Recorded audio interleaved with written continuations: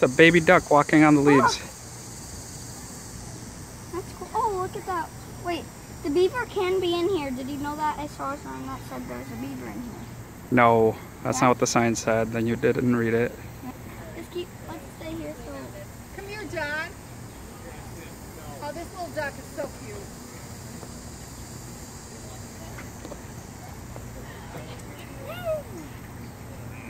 A baby mallard. He's actually coming towards us. Um, There's a guy right here, too.